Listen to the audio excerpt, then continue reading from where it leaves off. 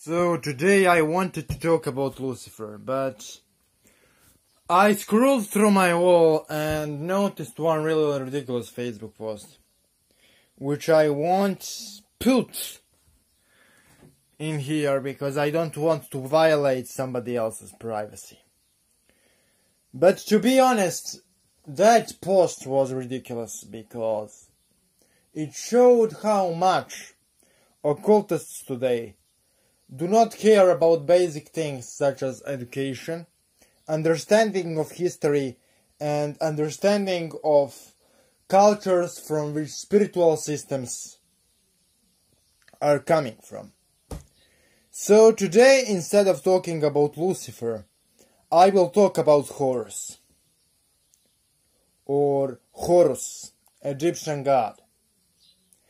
And in this video, I want to talk about ways to call Horus, since the magical trend for calling him I can't remember right now. But around a year ago, I called Horus in my magical ritual. And uh, it was indeed interesting experience. I wanted to test our Paimon, the Goetic king, and Horus, the Egyptian god, a same being. And I called Lucifer to help me summoning Horus, since I didn't wanted imposter to show up. I wanted Egyptian god Horus to show up and I wanted to record my experience with the public. And share it with the public, but I didn't did it back in the day. I called Horus upon, and what I found out was pretty interesting. What came into my temple wasn't Lucifer, or form of Lucifer, but it was pretty similar to Lucifer in the energy signature. So I called Lucifer, and then together with Lucifer I called Egyptian god Horus. And uh, what showed upon was different and separate from Lucifer, but it had similar energy signature to Lucifer. Similar electric blue energy and my third eye reacted in a really powerful way to the presence of Horus, to the presence of this mighty Egyptian deity. And to be honest, right now I remembered this experience. Because this experience showed to me just like this Facebook post of some my Facebook friend that modern occultism doesn't give shit about anything. People are just making stuff up without basis in anything or practical value and they present it as spiritual knowledge, okay? You have conspiracy theories claiming Lucifer is Horus, Horus is Satan, Horus is Paimon, and you don't have to be an uh, expert in occultism. The only thing you have to be is somebody with the brain and ability to read in order to realize that this is all false bullshit, you know? Horus is celestial god. He is associated with the heavens. He is associated with prophecy, war, guarding of the pharaoh, and ability to perceive other worlds. He is associated to some extent with the sun, but with the moon too old symbol for protection in ancient Egypt was known as the Eye of Horus. So, only if you take that scholarly information we have from Egyptologists, right? And then you compare to all of the scholarly information we have about Lucifer. Lucifer as ancient Roman god. Lucifer as consort of Diana in Stregoneria, Italian folk witchcraft. Lucifer as a Venus and sun god, right? Which is then demonized to be fallen angel of Christianity after Vatican came in, okay? So, you see from the lore of Lucifer and a lot of Horus that there are really significant differences, okay? Lucifer is some kind of a god of the witch cult, right? Associated with nature.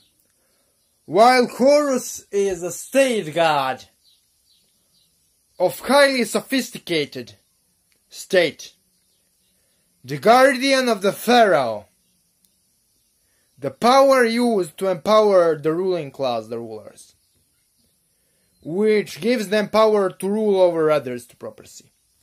While Lucifer represents something else completely. He is more like witch god or the witch cult within Italian folk old religion, okay?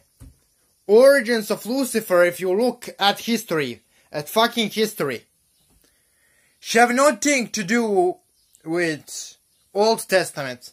Yeah, Lucifer is incorporated into Christianity. Because he was a god of folk Italian witchcraft. And Lucifer and Horus come from completely different cultural background and cultural framework and spiritual systems, right? And then you have like people saying Lucifer and Horus are the same. And you kept saying Horus and Satan are the same, or Horus and Paimon are the same. It's all nonsense. Not only it doesn't have any practical value, but it also doesn't have any scholarly value. If you think Lucifer is Horus, and you use demonic kind of Lucifer to call Horus, you are, you are calling Lucifer. You are working with Lucifer. You are not working with Horus. If you use Goetic evocation to call King of Demons, Paimon, you are working with King of Demons, Paimon. You are working with Horus. If you want to work with Horus, you need to call spirit which knows Horus. For example, Lucifer or Isis or I don't know, Osiris. And then after you call Osiris, with their help, call Horus and receive from the Horus way of calling him.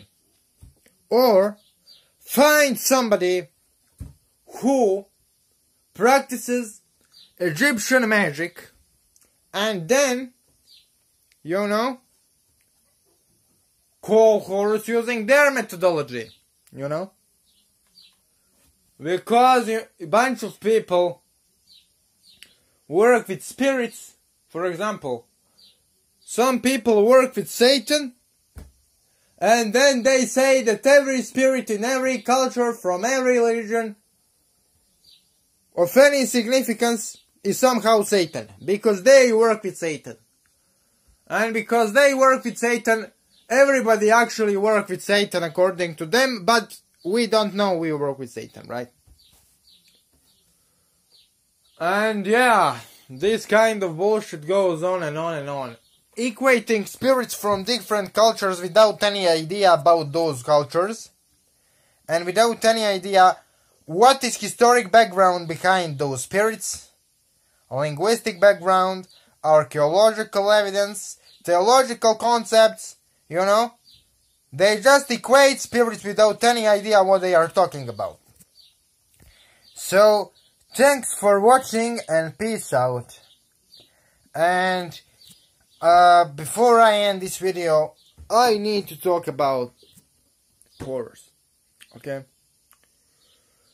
Many people, especially today, blame Osiris, Isis, and Horus for origin of Christianity. This has no historical value. This claim, the only thing this claim proves is the absence of any historical education. Modern Christianity has two streams of origin. One is ancient Ugaritic slash Canaanite pantheon and Zoroastrianism. Those two religions are the great influences on the Old Testament. And then you have Old Roman religion and mystery schools, which are the great influence on the New Testament.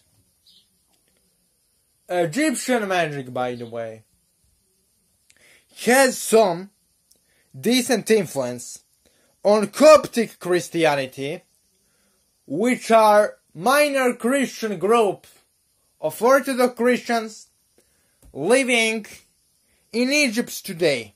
And Coptic Christians are, oh my god, descendants of ancient Egyptians. And their liturgical language, the Coptic language, is actually the closest living language to fucking ancient Egyptian. But Coptic Christians, my dear friends, are obscure Christian group.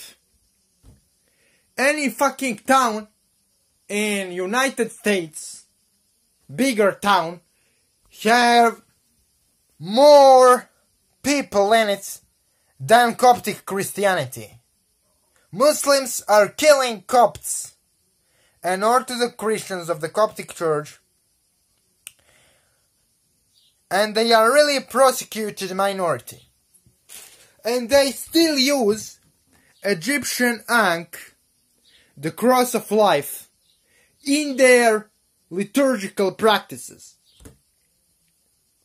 And Egyptian magic has decent influence only on Coptic Christianity. You won't find Egyptian symbolism in Orthodox Christianity, you won't find Egyptian symbolism in the Vatican. You won't find Egyptian symbolism in, you know, Protestant Christianity. The symbolism you will find in Christianity originates from Babylonia and from Rome and from Zoroastrianism. They use that symbolism. I can quote you hundreds and hundreds of example, examples of that. But if you want to find Egyptian symbolism in a way in a Catholic Church, you won't find it. Despite of what conspiracy theories are telling you, Egyptian tradition has really minor influence on Christianity. Jesus as a resurrecting God or figure is much different than Osiris. If you look at the mythological framework behind it. Jesus, Jesus comes to sacrifice for your sins and to prove you and to teach you you are a piece of shit and a sinner. Osiris, on the other hand, sacrifices in order to rule the underworld and be the judge of the dead.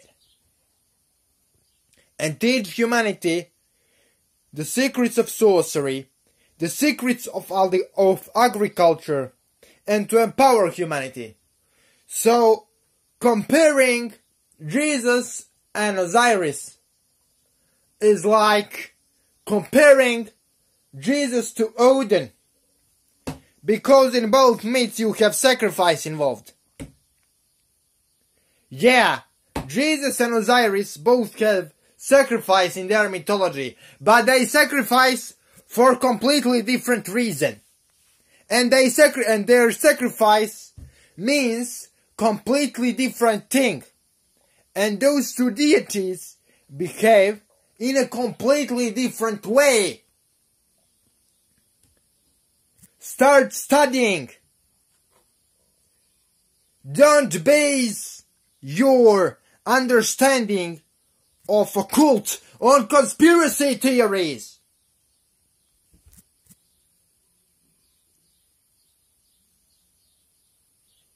So, this is everything for today and thanks for watching.